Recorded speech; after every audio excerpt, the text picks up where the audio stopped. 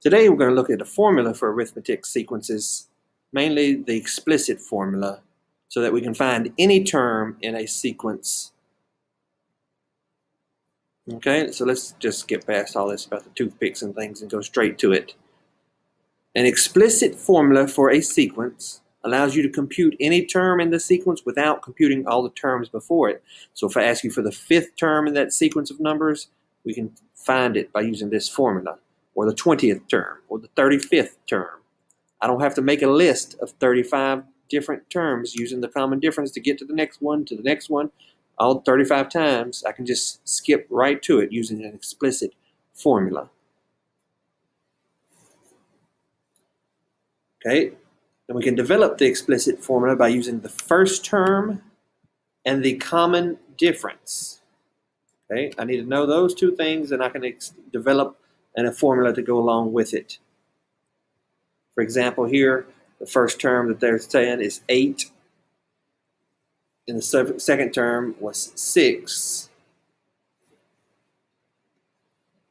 More than 8, because the common difference was 6. So 8 and 6 is going to be 14, would be the second term. But all I need is the first term and the common difference. And so if I need to write an expression for the fourth term using A1 and the common difference, it could look something like this, where you start at 8, and then you add 6 for the second term, 6 for the third term, 6 for the fourth term, and there would be the fourth term right there. Okay, that's just a little bit long, and so we want to be able to do this up to 15th term or something like that, but without actually writing 15 terms out, 8 plus 6 plus 6 plus 6 plus 6 plus 6 plus 6 plus 6, all the way up to 15 of them. We don't want to do that. So we need to shorten it a bit. And so we have the first term, and we're going to see how many other terms are we adding. Well, for this one, it's 3. So that's going to be 8 plus 3 times 6. Okay, we're sort of doing reverse distributive property. We're pulling out a common denominator, which is 6. How many of them were there? Three of them. 6 plus 6 plus 6, that's the same as 3 times 6.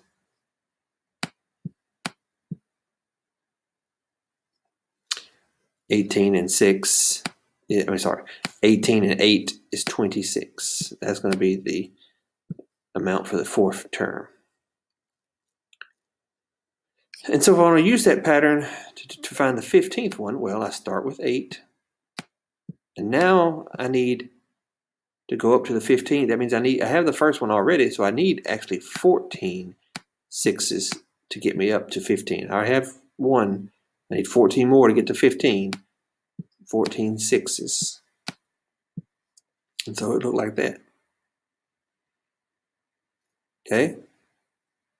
And so in order to find any term, I need to be able to turn this into something generic, something that I can use no matter what term we're looking for and no matter what sequence of numbers I'm looking for. And it looks something like this. The explicit formula is going to be the term I'm looking for in A to sub n. Remember, this is subscript notation. This is how we specify which term in the sequence we're looking for. A sub n, that means I'm looking for whatever term, variable, okay, whatever one I'm looking for. That's going to be equal to the first term plus, now I got to take that off, whatever terms I'm looking for minus the one I already had, okay? I've already got one of them. That's my first term. And so I'm, if I was looking up for 30 of them, well, I just need 29 more.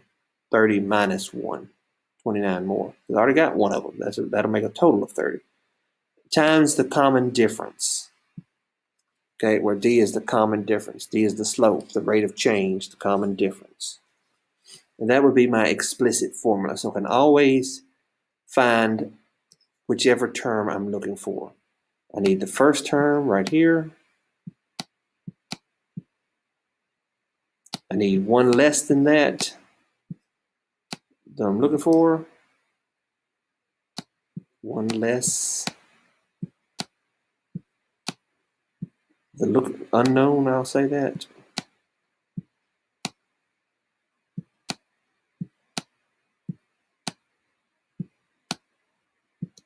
times the common difference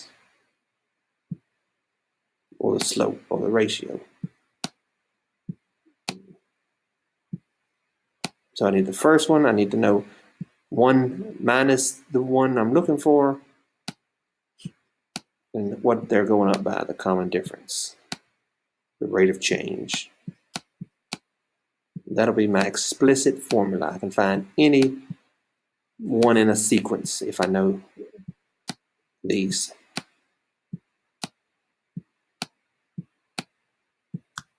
Okay, I'm just labeling. That's the first one. That's one less than what I'm looking for, my unknown times the common difference. I'll give you an example here. 3, negative 3, negative 9, negative 15, negative 21. You're going down by 6 every time. That's the common difference of negative 6. The first term is 3. Okay, which one are we looking for on this one? We're looking for the 10th one. So it's going to be 3 plus 1 less than the 10th one, which is 9, 9 times minus 6.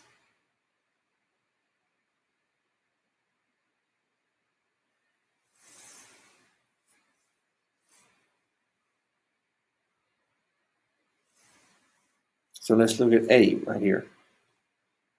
I'm looking for the 21st one. So I need to know what my first one is, 2, plus, what's my common difference? Looks like it's 4, times what's 1 less than 21, 20. 4 times 20 is 80, plus 2 is 82. 82 is the 21st term. That's an explicit formula. Okay, right here, explicit formula. I have when it tells me the first one, my common difference, which ones I'm looking at. I can find out any one in that sequence. Let's look at B. Negative 0.6, negative 1.0, negative 1.4. That's uh, decreasing by negative 0.4. That's going to be my common difference. And so if I'm looking for the 15th one in the sequence, if I had to, I don't want to write out 15 of them. I can just do this. I can just say, what's my first one? Negative 0.6. And add to it, which one I'm looking for, 15th one minus 1, because I already got one. So that's really 14 more I need, times the common difference of negative 0.4. So I multiply all that together and it would tell me what this one is. And it's okay to use a calculator sometimes, especially when you're dealing with negatives and fractions and decimals. So let's pull out a calculator. You can use your phone. You can use a Google a calculator. And even if you type it directly into Google, it probably would tell you what the answer was. So 0.6 plus 14 times negative 0.4. Let's see. We need to do our print, we need to do a multiplication first. 14 times 0.4, that's negative, is negative 5.6. And then we said add 0.6 plus negative 5.6. It's going to be negative 6.2.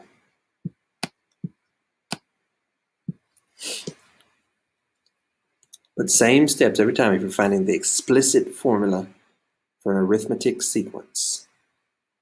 You need to know what you're looking for. You need the first one, the common difference, and then just go backwards. What's one from what you're looking for? So let's go down to, let's look at 9 real quick. The first three terms of the arithmetic, arithmetic sequence are listed right here. Determine the common difference, 3, and then graph the next three terms. So after 8 is going to be 11. So the fourth one will be 11. The fifth one will be 14. The sixth one will be 17. We just need to graph those three points there. That's, the slope is the same as the common difference. Okay, still going to be 3. Rise up 3 over 1. Rise over run 3. Let's see, 13, the 11th term is 59, the 14th term is 74. We want to find the common difference. Well, we subtract 74 minus 59. That'll give us 15. Then we need to divide it into 3 because we jumped 3 different times. 15 divided by 3 is 5. The common difference is going to be 5. 59 to 64, 64 to 69, 69 to 74, 5 every time. And if I wanted to work out what the first one would be, I could just make a sequence going backwards all the way to 1. Or you can solve it using the equation. So we'd say the first one would be equal to, we don't know what the first one is, plus the common difference of 5 times, let's say we're using the 11th one, so 5 times 11 minus 1, which is 10. The 11th term is 59, which is going to equal to x, which is the first one we don't know, plus 50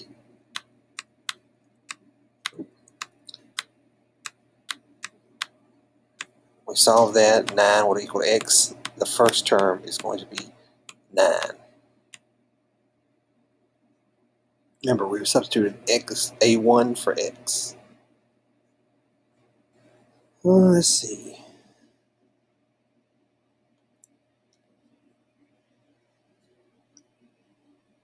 Let's find the explicit formula for this one real quick, and then the value. All right, remember, the explicit formula is always written the same way. It's going to equal the first term plus the common difference, which is 9 on this one, times n minus 1. Well, we're looking for the 30th one, so that'll be 30, a sub 30 equals 2 plus 9 times 29, because I've already got 1 right here. So I only need 29 more to go.